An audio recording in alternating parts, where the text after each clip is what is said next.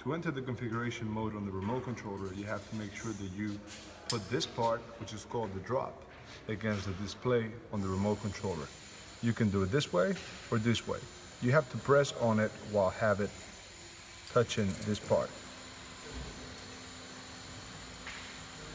You'll begin to blink and every sub menu will progressively light up.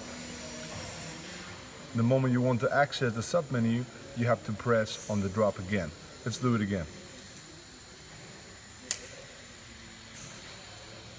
This first one is for the sync with the board, second one for maximum power, third one for the ramp, and fourth to reset it to factory settings. In this case, we want to synchronize the remote controller with the board. So we proceed, we press and wait.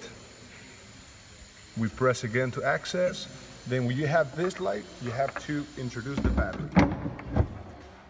When you introduce it, it will light up at a higher pace, indicating that the board has been successfully synchronized with the controller.